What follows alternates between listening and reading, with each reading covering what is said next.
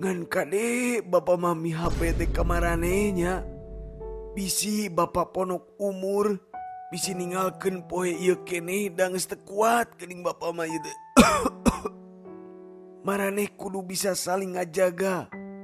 Silih asih silih asuh jeung silih asah. Kadelin ngasa bedog bisi saling podaran ke saria?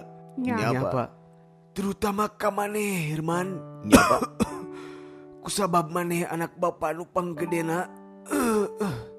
maneh kudu bisa ngahayap jeung ngajagaan adia di maneh duaan.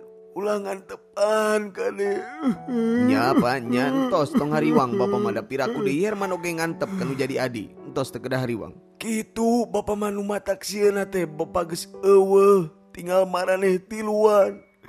Kudu jaga tali silaturahim mustaqimnya Nya udah kudu eta pariksa deui meureun ari lain yang dulu rumah. Heeh, pa teh kudu sieun atuh piraku deh Heeh, atuh ari kitu mah jongjon ayeuna mah babaek ninggalkeun. Naon maksud? kana atuh sawajan kawu si bapak baheula berarti ieu urang urang Anak Bagong.